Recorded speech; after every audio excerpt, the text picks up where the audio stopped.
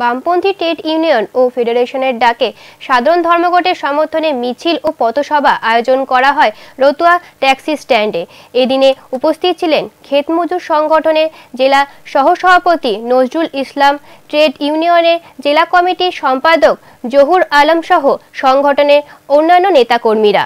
জেলা সিপিএম সম্পাদক মণ্ডলীর সদস্য সুশান্ত সিং জানান, সারা ভারতবর্ষব্যাপী বামপন্থী ট্রেড ইউনিয়ন ও ফেডারেশনের ডাকে সাধারণ ধর্মঘট ডাক দেওয়া হয়েছে। মূলত সাত দফা দাবিতে এই সাধারণ ধর্মঘটের ডাক দেওয়া হয়েছে। তাদের দাবিগুলি হল, কেন্দ্রীয় সরকার যে নতুন কৃষক আইন করেছেন সেটি প্রত্যাহার করতে হবে। রেগার দুশো দিনের কাজ চাই সহ আরও বেশ কিছু আইন নিয়ে তাদের ধর্মঘটের ডাক দেওয়া হয়।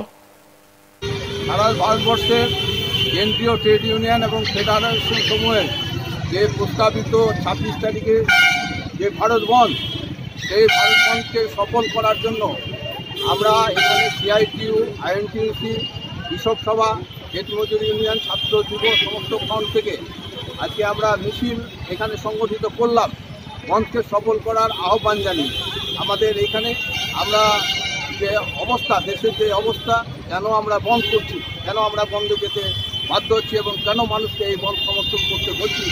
সাধারণ মানুষের কাছে আমাদের বক্তব্যের মধ্যে বার্তা দিয়েছি মূলত আমাদের দাবি হচ্ছে যে, আজকে যে অবস্থা সৃষ্টি হচ্ছে, যে অর্থনৈতিক অবস্থা এখানে সৃষ্টি হয়েছে করোনা পরিস্থিতির মধ্যে, আজকে মানুষ না খেয়ে আজকে মরতে যাচ্ছে। যে- সমস্ত পরিবারে আছে কোনো আয় নেই, কোনো আয়ের উৎস নেই, যে সমস্ত পরিবার হাইকোর্ট দেয় না, তাদেরকে আমরা ধরে নিচ্ছি তারা গরিব পরিবার। তাদেরকে মাসে সাড়ে সাত হাজার টাকা দিতে হবে যত দিন না, আজকে অর্থনৈতিক অবস্থা সুরাহা আজকে সঠিক জায়গায় আসছে। আমরা বলেছি মাথা পিছু দশ কেজি করে খাদ্যশস্য জমা দিতে হবে। ভারত সরকারের অধীনে অনেক, লক্ষ লক্ষ টন এখানে খাদ্যশস্য মজুত আছে। যেগুলো করছে নষ্ট হচ্ছে। কিন্তু আজকে মানুষকে দেওয়া হচ্ছে না। আজকে সেগুলো এখন এই সেই সমস্ত পরিবারের মধ্যে চালিয়ে দিতে